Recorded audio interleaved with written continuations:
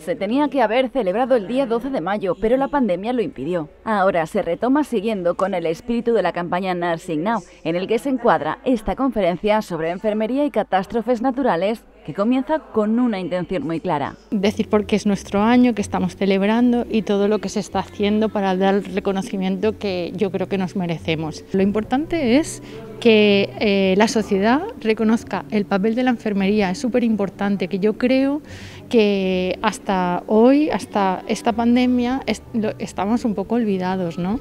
Eh, parece que, nos hayan puesto este reto y este año y nos hayan dado este año para demostrar todo lo que somos capaces de hacer, que son muchas cosas. Todo lo que sea la formación de enfermería y la especialización es imprescindible porque es una manera de satisfacer más las necesidades de la ciudadanía y por supuesto de dar muchísima más calidad. María José Rodríguez pertenece a la ONG Intervención Ayuda y Emergencias desde hace 14 años y compatibiliza su altruismo con su profesión de enfermera, dos maneras diferentes de desarrollar su profesión bajo el mismo espíritu, el de ayudar y cuidar. Desde enfoque enfermero aplicado a su labor humanitaria, habló en el auditorio Santiago Grisolía de la Ciudad de las Artes y las Ciencias de Valencia.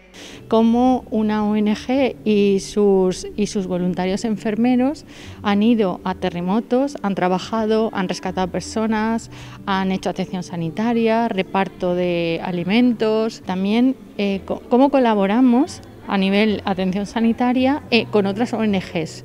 Vamos a países donde, sobre todo países de África, donde no tienen, ni, no tienen muchos medios, ni tampoco tienen médicos ni enfermeras, y ayudamos a que formación de esos médicos los traemos aquí a, a Valencia, se forman durante seis meses, un año, dependiendo de ellos lo que puedan, y después se van a su país. Y en su país continúan esa labor y nosotros hacemos el seguimiento. A María José y el admirable trabajo de la ONG Intervención, Ayuda y Emergencias, los conocimos el Día del Perro de 2019, en el que nos contaron su trabajo. El trabajo de una enfermera, una catástrofe natural, es que en este caso muy específico nosotros primero vamos con perros.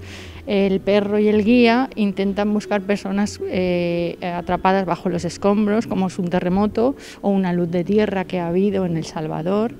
Eh, y bueno, de una vez los rescatadores eh, te abren el camino, el personal sanitario, en este caso el médico o la enfermera, entran, estabilizan al paciente para que sea rescatado en las mejores condiciones posibles. Los asistentes, en su mayoría profesionales de la salud, acudieron a la charla respetando todas las medidas de seguridad y no perdieron detalle de la experiencia de María José. Estamos dando catástrofes en, en el sitio curso y pues la verdad es que me ha interesado bastante el tema y cuando vi por internet con unas amigas que había una charla sobre catástrofes, en este caso naturales y cómo ayudar, pues me pareció interesante para clase y porque no sé, en algún momento pues me gustaría no sé, irme por ahí y ayudar. Aprender sobre casos prácticos más extremos a lo mejor, no lo que ves de pues, un accidente de coche o que se ha caído un edificio, sino otro tipo de desastres a lo mejor más grandes y casos prácticos que a lo mejor pueda aplicar en otros contextos que me sirvan. Una asistencia en catástrofes naturales y no naturales que expresa el inequívoco deseo de ayudar a las personas